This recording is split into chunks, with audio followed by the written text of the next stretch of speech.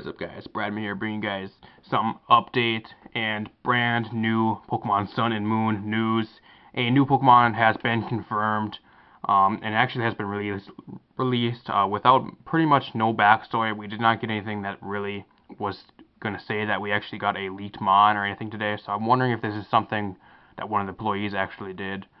Um, just released it without knowing. I don't know. Somebody's to be in big trouble for releasing this early though. But um, we got a new Pokemon today, guys. So if you guys are hyped, feel free to drop a like down below. And if you are new, subscribe for more news and information like this. Um, this thing looks absolutely awesome, guys. Um, a new poison type, poison type, uh, poison fire type, Salandit. Uh, ability is Corrosion. Now, this ability is anti-metagame. Uh, uh, the whole new metagame for Gen 7 is going to be completely going to be shaken up in a bottle and turned around and dumped on its head basically. That's the metagame for you in Gen 7. Uh, first, we actually got Dazzling, which actually found out what that does now. It actually prevents the ability, or ability that prevents priority moves to actually be used on the Pokemon that actually has it. And now we actually got, um, then we got Stakeout, which actually, uh, um, doubles damage if a uh, switching move like U-turn or Volt Switch actually used on your opponent, or used on you.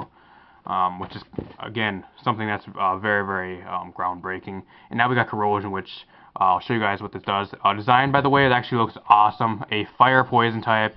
I think it's actually the first of its kind. Uh, Salandit can poison Pokemon of all types. So if you're a poison type Pokemon, you're to get poisoned with this ability, Corrosion. So you're to get poisoned with this thing. Um, and if you are a Steel type, as it's about to show, um, Skarmory ain't safe. Steel types are now able to get poisoned with this ability. So Again, taking the whole metagame for Gen 7 and uh, shaking it up and turning it and dumping it on its head. Um, shows a few move animations with actually uh, his Rockruff right here. Uh, I do like the design for Rock Rockruff and the back sprite. Um, and November 18th, uh, here's actually the um, online uh, for the Pokemon website, the description. Salandit females are not only release toxic acids, but they can also emit pheromones that attract males of all species including Pokemon and humans. Inhaling these pheromones may cause opponents to be controlled by Salandit's will.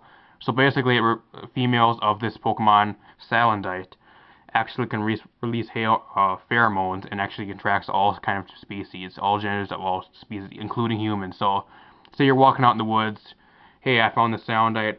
Oh shit, I breathe in it, its gases. Now I'm getting controlled by it. So this Pokemon control things, uh, which is uh, kind of scary uh, as a Pokedex entry. If this thing actually evolves, good gosh, is this thing going to be a powerhouse if this evolves? This is one of those uh, Mons, um, in my opinion, that's kind of based off the Krookodile line, but it's not exactly a Krookodile. I think I'm, a lot of people are calling this thing actually the, Gen 7 uh, Sandile, but um, in my opinion, it looks a little bit different than Sandile. I mean, a complete different typing. But again, Corrosion very, very good ability. Uh, probably one of the best abilities so far. Poison any type. There is no immunity. So that Toxic Stall in Gen 7 is going to be out of this world with this thing.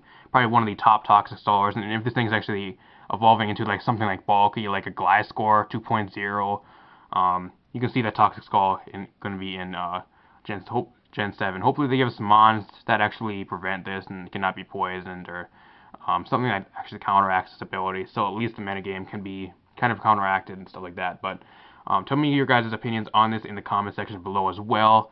Um, I do think the design for this thing is very, very nice as well. Hopefully this thing does get a few evolutions, um, probably like two evolutions and stuff like that. So um, if you guys enjoy this, feel free to drop a like down below as well. Really, really helps me out. And if you are new, subscribe for more updates and information about Sun and Moon like this. That being said, though, I'm going to get out of here. Just want to bring you guys this update info.